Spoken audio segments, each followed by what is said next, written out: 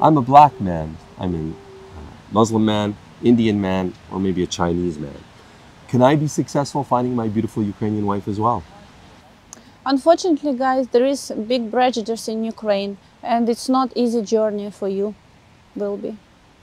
Yeah, and it, unfortunately, in that order, that is the order of highest degree of prejudice to lowest degree, uh, starting with black men, unfortunately, uh, Muslim men, then Indian men, and then Chinese men. So that is the highest degree of uh, prejudice to the lowest degree in that order.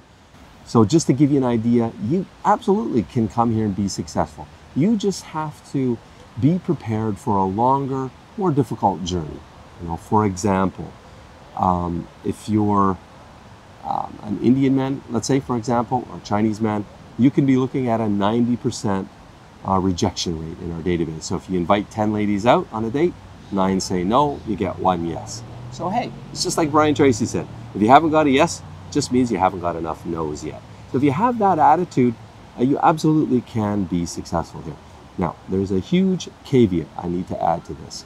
I'm speaking of these ethnicities if you live in a Western developed country. Okay.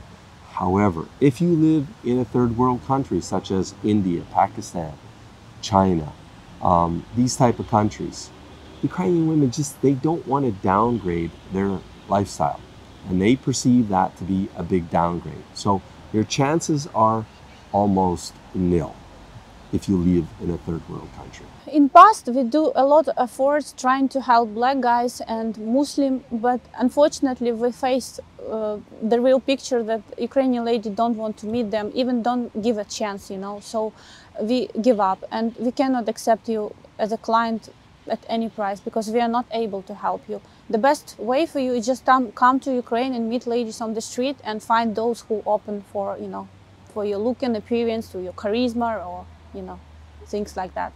It can happen to you. I know, guys, this lands really hard on your heart. You know, you're heavy hearted after hearing this message, and I'm really sorry for it. Um, just so you understand, when I started Match Guaranty and we took over from Olga Dating, um, I went to bat for all ethnic guys. And, you know, Titiana, my partner, had already 16 years experience and had not been at that point successful with either a black man or a Muslim man. And she told me that. But I, you know, I wouldn't take no for an answer. I said, I don't care. We're going to try, you know.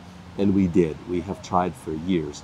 And the facts are we just have not been able to help you guys. So it just wouldn't be fair for us to take your money, you know, knowing well that your chances of success are infinitesimally small.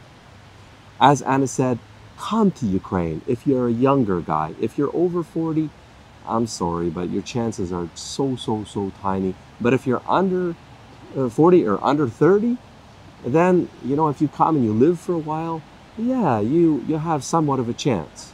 And that's what I would encourage you guys to do. Imagine meeting as many beautiful traditional ladies as it takes until you meet the one. That's exactly what you can win right now. Just comment, subscribe and share. The winner will be announced live right here.